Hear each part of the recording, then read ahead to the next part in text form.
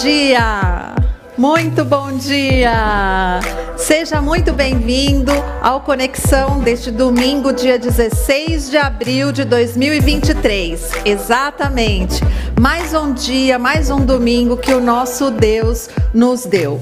E você fique ligado aqui no nosso Conexão, porque é aqui que você fica sabendo de tudo que acontece na nossa igreja. É aqui que fica que a gente vai bater papo e hoje a gente tem uma turminha especial, uma turminha da pesada aqui que tá revolucionando, que está envolvido em várias atividades. Está curioso já, né? Pois é. Seja muito bem-vindo, você que está aí online, participando de maneira online do nosso Conexão. E você que já está aqui na igreja, que está aqui sentado no templo, na galeria, no salão social, você que já está conectado, que está participando das, EBDs, seja muito bem-vindo. Você pode compartilhar o like, o link para as pessoas que você se relaciona, dando a elas uma oportunidade de participar com você e conosco da nossa celebração. Tem um botãozinho aí pelo site ou pelo aplicativo uh, compartilhar. Envie este link para as pessoas que você acredita que precisam uh, de uma mensagem de esperança, essa, essa mensagem que nós encontramos só em Jesus. E nós temos aqui você participando. Sempre tem bom dia do pessoal, sempre tem é, as pessoas nos acompanhando pelo YouTube. Deixe o seu bom dia, deixe o seu oi, deixe o seu comentário aqui é, para gente saber que você está aí junto com a gente. E eu vou chamar aqui as mensageiras do rei. Pois é. Vem pra cá, Gleice, vem pra cá, Natália e vem pra cá, Gabriela. Sejam muito bem-vindas. Eu vou precisar de um microfone, tá aqui. Sejam muito bem-vindas ao Conexão. Muito bom ter esse monte de mulher bonita aqui com a gente nessa manhã, de todas as idades.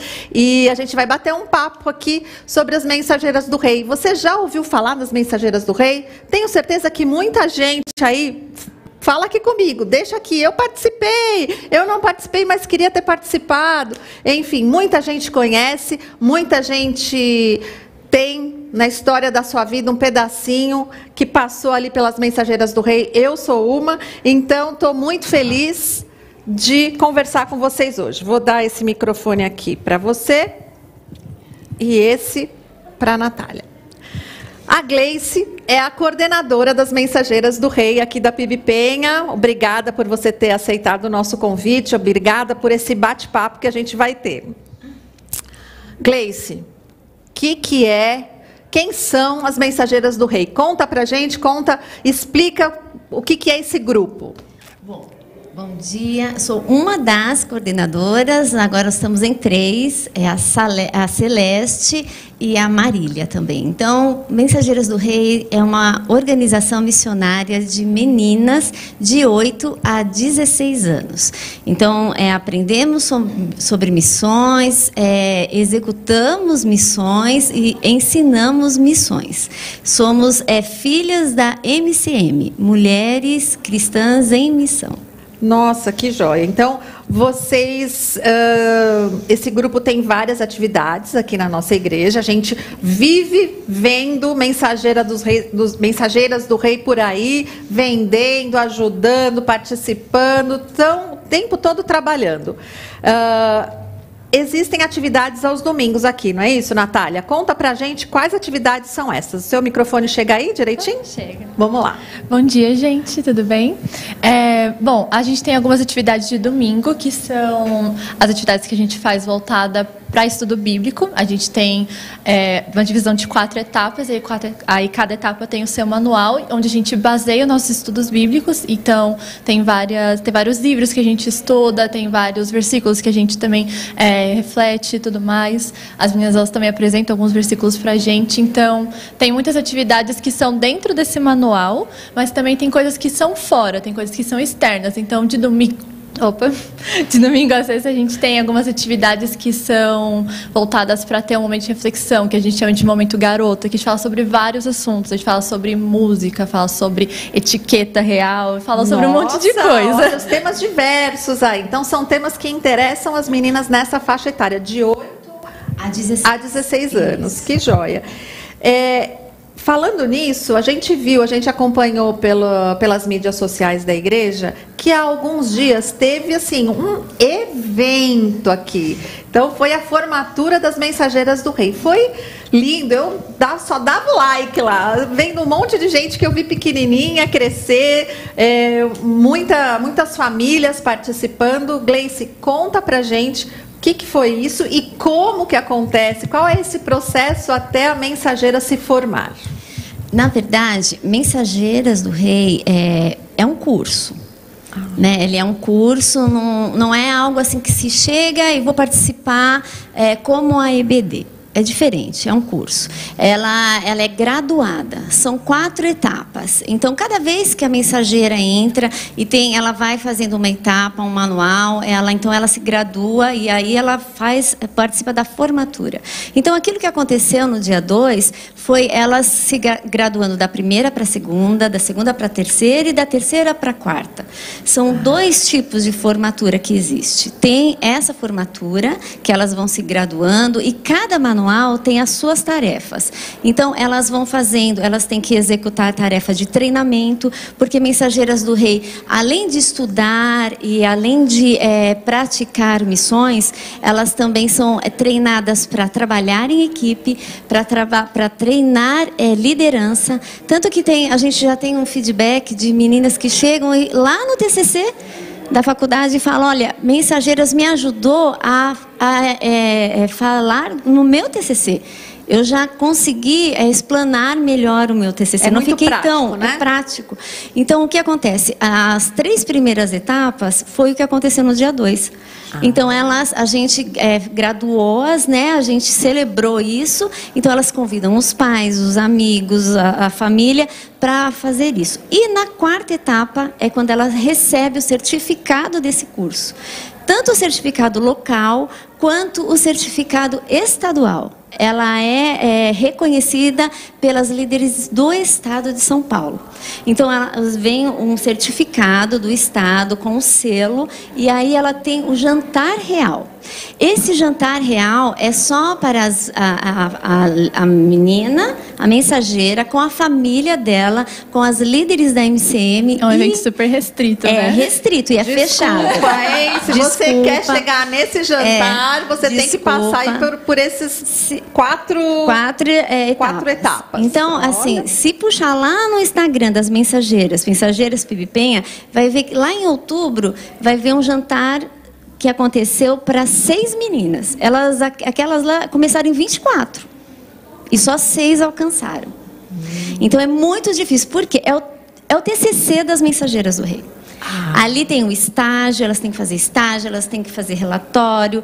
Então elas têm que elas executam tudo que elas aprenderam nos três, nos três, eh, nas três etapas. Então são dois tipos de formatura. Que joia. É, depois de todo esse esforço, esse trabalho, a gente merece um negócio chique, entendeu? Ter, né? Um negócio mais Olha. restrito, uma coisa mais exclusiva, né? E pelo que eu tô, pelo que a gente está conversando, é, a gente vê que tem uma parte que é teórica, que é de formação, que é de edificação, e tem uma parte que é prática, com tarefas, com que vão ajudar a mensageira, que vão ajudar a menina, a garota, em outras áreas da vida, não é isso? E o que, que acontece fora dos domingos? Da, uh, fora daqui dessa, dessa nossa, desse nosso convívio dominical? Conta pra gente. Então, o que acontece fora eu acho que é a parte mais legal, porque a gente tem muitas atividades que são fora do manual, fora de estudos bíblicos, que são atividades que servem para desenvolver a menina em si. Então, a gente tem, é, a gente faz cozinha, a gente faz ateliê, a gente também faz ações missionárias, tanto que a gente fazia muita entrega de panfleto pela, pela igreja, a gente fazia pela Penha. Tem acampamento também que a gente faz com todas as mensageiras do estado. Do ah. estado, isso. É, tem congresso também que a gente tem todo, todo ano em julho, né? Todo ano em julho a gente tem, a gente tem também a Semana em Foco, que é uma semana que a gente faz focada em é, cada dia da semana, de segunda a sexta, a gente tem várias atividades. Então, a gente vai no cinema, a gente é, faz café para os funcionários aqui da igreja que cuidam da gente, a gente tem momentos missionários também, então é muito legal. A gente também já fez visita na UCAD, na Cristolândia. Então, as partes de fora é o momento que a gente tem para poder conhecer as pessoas, conhecer as meninas que estão lá e também ajudar outras pessoas e fazer missões também. Então é muito legal. Gente, isso daqui, às vezes a gente encontra pais. É lutando assim em conflito, como que eu vou inserir meu filho, a minha filha, né, nas atividades da igreja? As mensageiras é um espaço onde além de inserir, além de encontrar amigas, de desenvolver amizades, a gente consegue também passar os valores é, que a família acredita. Então, para mim, assim, é uma oportunidade ímpar se a sua filha ainda não participa. Se você, menina de 8 a 16, 16 anos, ainda não participa, perdendo tempo. Vem para cá, fala com a tia Gleice, que é assim que, que ela é conhecida aqui, ou com as outras tias, né, que são coordenadoras, desculpe. E aí vai ter, vão ter os processos, vai ter esse jantar maravilhoso que eu fiquei até com vontade de participar, mas né, já tô de fora agora, vou só no Instagram curtindo. Mas eu queria perguntar para a Gabriela. O pessoal tá falando: "Nossa, mas a Gabriela tá quietinha ali". Nath, passa seu microfone para ela. Conta pra gente alguma coisa que você gostou, alguma coisa legal que aconteceu, alguma coisa que, que você possa compartilhar com quem lá com quem está do outro lado ali assistindo a gente. Bom, não dá para escolher uma só, uma atividade só, que tipo assim, eu não tenho amado, né? As mensageiras do rei não tem igual, não tem igual. Mas um, duas atividades que me marcaram muito foi o congresso estadual lá na PIB do Brás, que foram três missionárias e um missionário, né? Que era o casal de missionários afegãos ou paquistãos, desculpa. Eu não lembro. Aí isso me marcou muito, né? É, saber sobre missões. As mensageiras me ajudou muito na, a descobrir sobre missões. Tipo assim, não é, é muito mais profundo, sabe? Não é só missões internacionais, você pode fazer missões na sua escola. As mensageiras realmente me ajudou muito nisso. E os acampa acampamentos também, né? Lógico.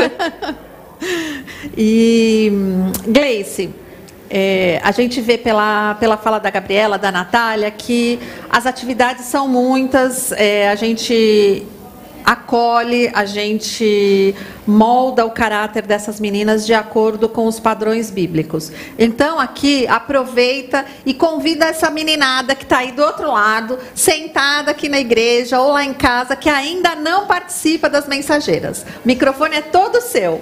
Bom, você, menina, e principalmente você, mãe, pai, que você tem essa menina, essa joia aí de 8 a 16 anos. Ah, mas a minha já tem 13 não importa.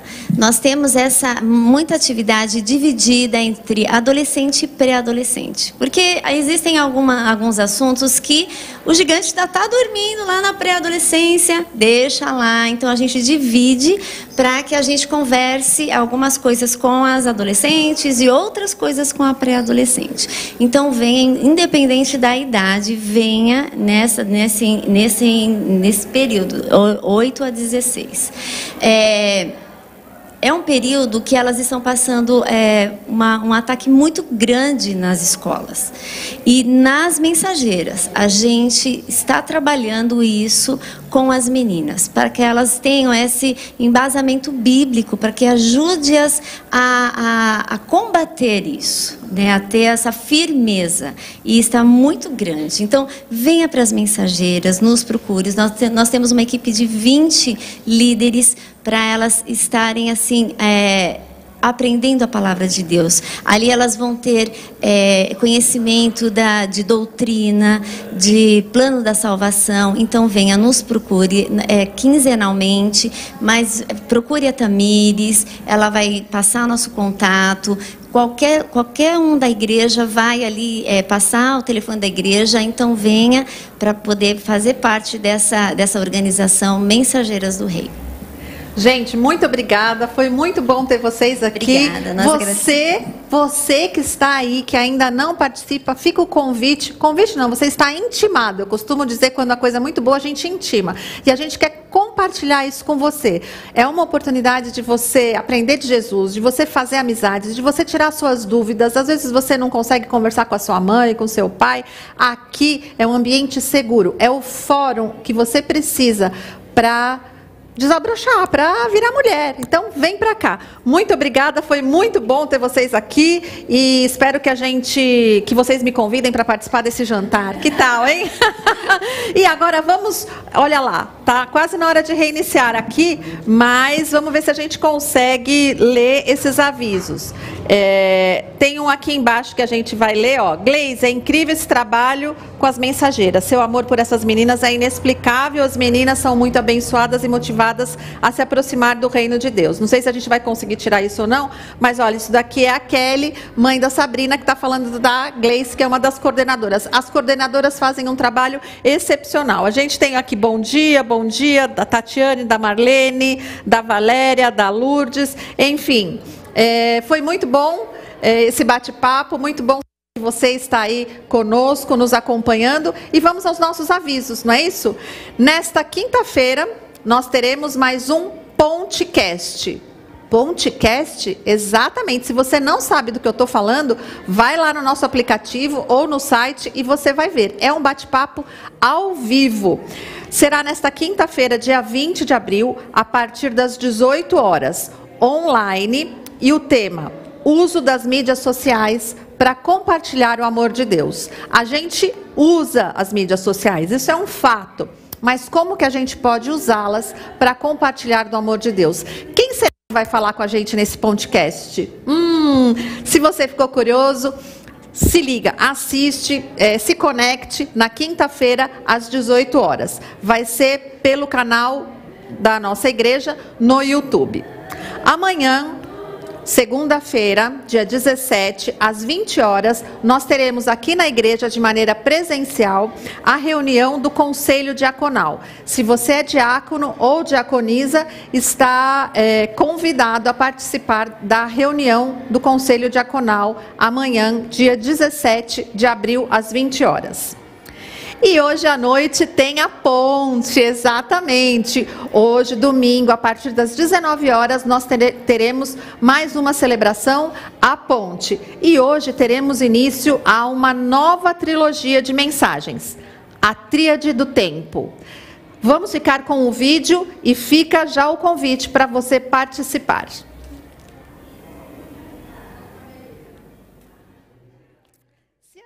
Tem um vídeo, fica aqui o meu convite para você participar do, da nossa celebração das 19 horas à ponte. Esse foi o nosso Conexão. Ficamos felizes de começar esse domingo com você, tanto presencialmente quanto online. Que Deus te dê um domingo abençoado na presença dele e vamos celebrar com a gente. Deus te abençoe.